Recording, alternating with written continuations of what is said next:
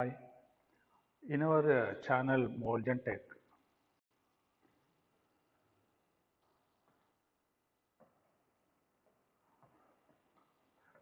Molgen Tech, uh, in playlist uh, genetic engineering. So we are discussing uh, uh, many techniques uh, about in concerning PCR. So in that, one of the topic uh, what we have discussed is uh, site-directed mutagenesis.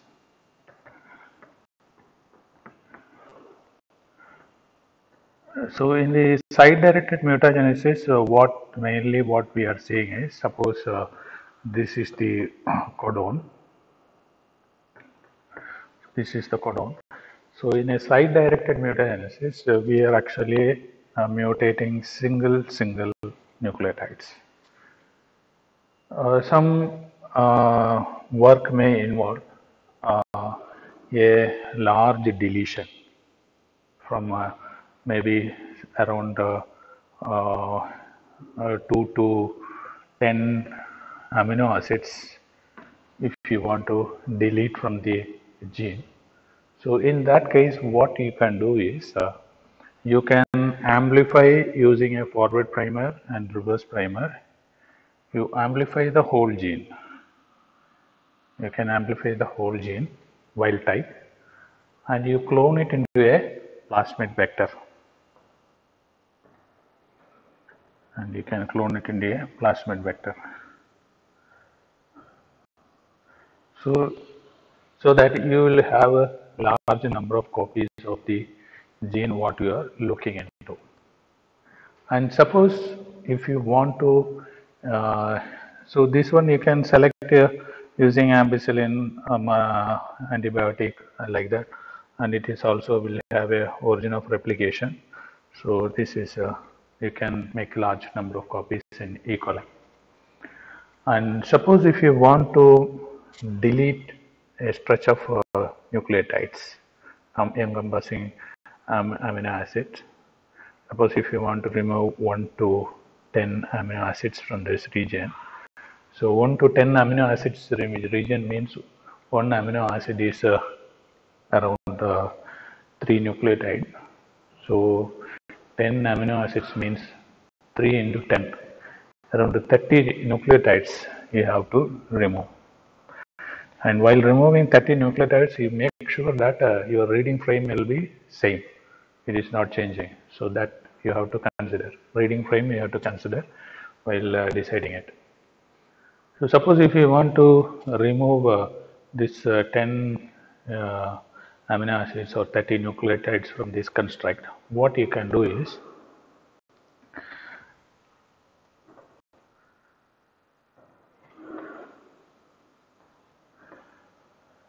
okay what you can do is you design a primer to this direction okay? And uh, suppose this is the region you want to delete it okay? You design one forward primer here and you design another primer here. So this is plus strand template and uh, this is minus strand template. So you design a primer like this and you can do a PCR.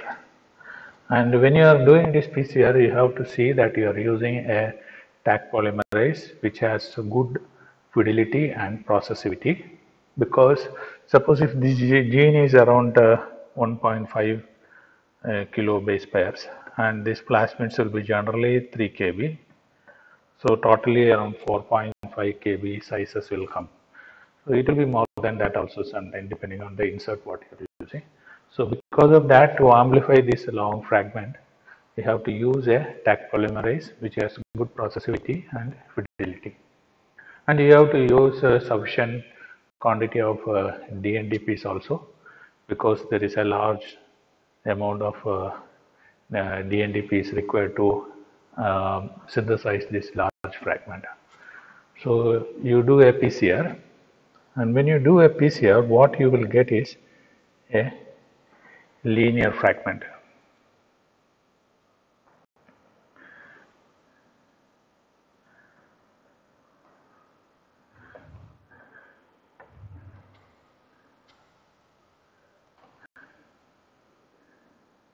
You will get a linear fragment. So this will be your uh, reverse primer region, what you have designed for minus trend. This will be your uh, forward primer region where you have used for the plus trend. So you will get like this. Then what you do is uh, purify this PCR product. Okay, purify this PCR product. Then after uh, uh, purification, you have to do a, a restriction digestion with the DPN1.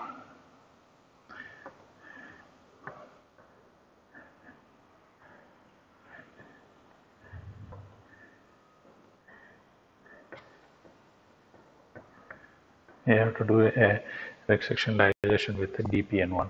So when you do a restriction digestion with uh, the DPN1, what will happen is whatever original template is what is present in this will be uh, digested.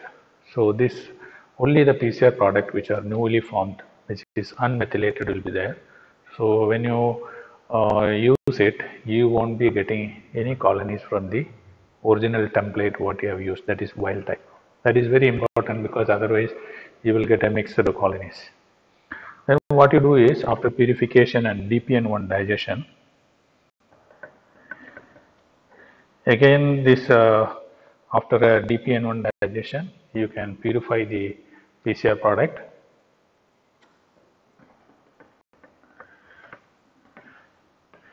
Purify the PCR product. Then this linear product you subject to ligation. Ligation.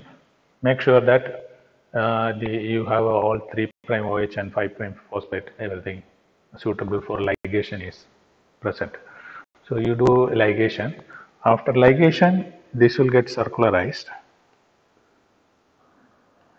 You transform into an E. coli.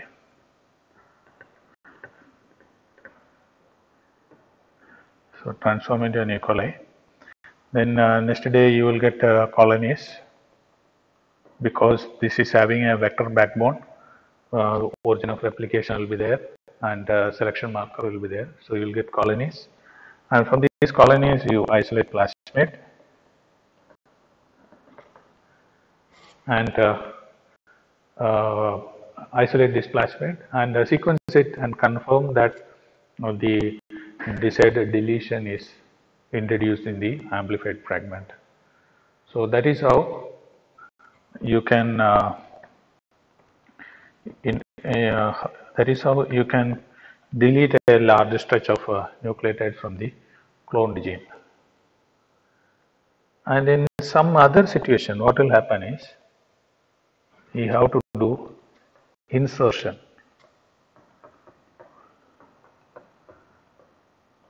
Okay, after deleting, either you can do insertion or within the wild type itself, you can do insertion.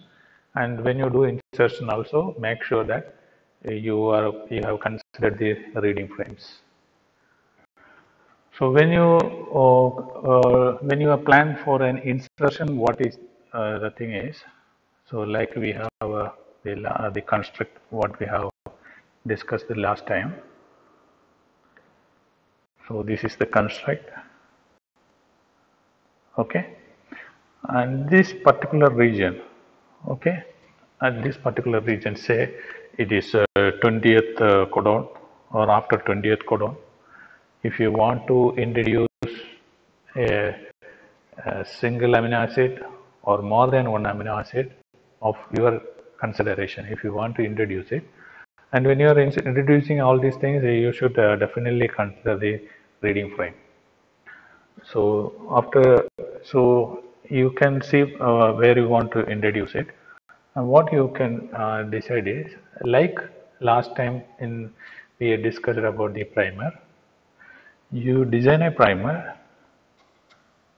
with the overhang. So this is the forward primer and this is the overhang where you want to introduce the extra amino acids. Okay, and here also you design a primer and this overhang will have the amino acid what you want to introduce. And if you see this region, this overhang and this overhang will be self-complementary because this is the region you want to insert after 20th codon. So here also, like I said uh, last time, you use a tag polymerase which has good uh, processivity and fidelity. Also, you use sufficient amount of uh, DNDPs favorable for the amplification. Then what you will get is here also you will get a uh, linear product, okay, but uh, uh, it will be already annealed because this portion is already uh, self complementarity is there so because of that, uh, even though the linear product is, is formed at the end of the PCR product, uh, PCR step, what you get will be a annealed uh, PCR product which is having nicks.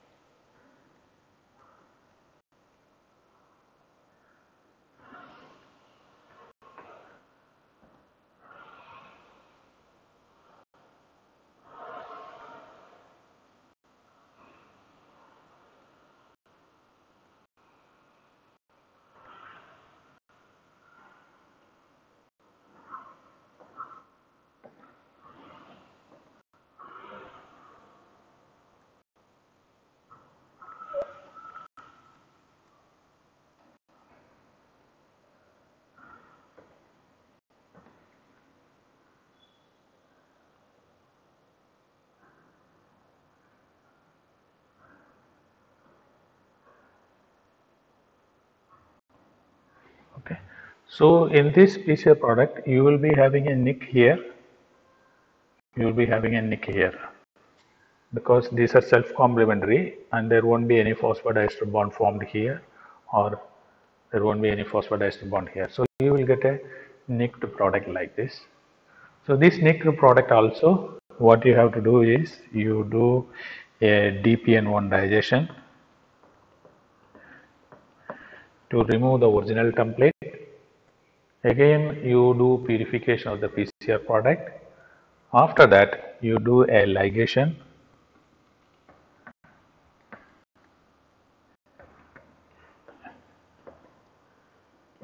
and transformation.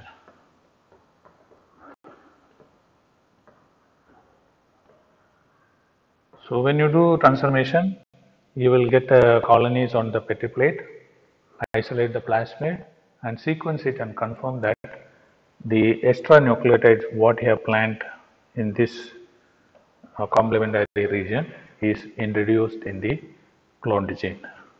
So this is how you can introduce insertion into it. So this insertion either you can do after a deletion of stretch of nucleotide or you can do uh, within the wild type itself. So this is how you can introduce a uh, large set of uh, uh, deletion or insertion. And if it is very close by nucleotides, then you have to do the site directed mutagenesis uh, like uh, what I have explained in the earlier video. So if it is very close, a stretch of uh, amino acids or stretch of nucleotides, then this is the method you can easily follow it. But here uh, you have to take care that you have you, you have the Taq polymerase what you are using is having high fidelity and processivity and uh, you are using sufficient amount of DNDPs etc like that. So this is how you can perform it. I think uh, you have enjoyed this uh, concept. So if you like uh, my channel, please share our channel with your colleagues and also subscribe my channel um, like our channel also put comment in the comment box and also press the bell icon to receive notifications on new video what we are uploading. So thank you very much for listening. Thank you